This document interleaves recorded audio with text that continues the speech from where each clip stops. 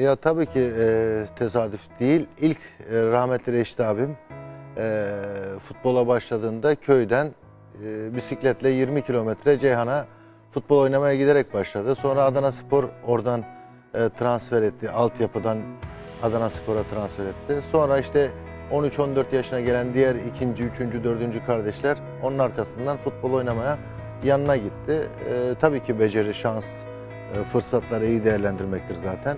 O fırsatları iyi değerlendirip hepsi yetenekli futbolculardı. Hepsi önemli kulüplerde.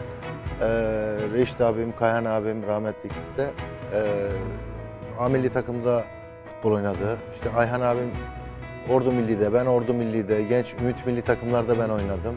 İrfan abim genç milli takımlarda oynadı. İlhan e, erken futbol bıraktı. E, Mardin Spor, Bitlis Spor gibi kulüplerde, ikinciliklerde oynadı.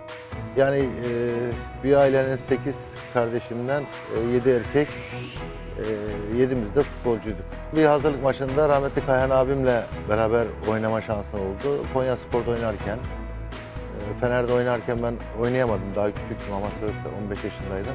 Ama daha sonra Konya Spor'da karşılıklı oynadım. Diğer abilerim e, Reşit'le İrfan abim Diyarbakır Spor'da aynı takımda biri sağ açık biri sol açık oynarken Mardin Spor maçında bir abim de rakip takımda Mardin Spor'da oynadık.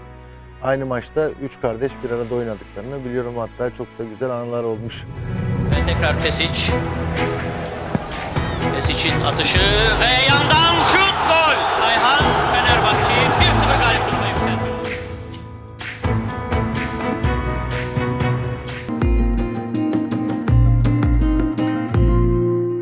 Aslında Trabzonspor'da attığım Kocaeli yılın golü seçildi. Kocaeli Spor'a attığım gol. Ee,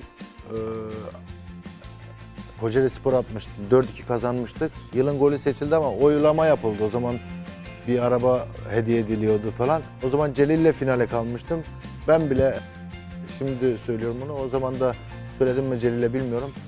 O, oyumu Celil'e vermiştim. O arabayı alsın diye. Ee, benle yarıştığı halde ben bile oyumu ona vermiştim. Öyle bir oylama yapılmıştı. As, e, Kocaeli Spor'a attığım gol kaleciden başlayan Abdullah Ercan'la oyun kuruyor. Abdullah Ercan tekrar bana veriyor. Ben tekrar Abdullah Ercan'a verip altı pasın köşesinde sağ ayağımla kontrol edip sağ ayağımın dışıyla birinci çataldan gol atıyordum. O bence hazırlanış ve bitiriş anlamında bence en güzel gollerden bir tanesi oydu.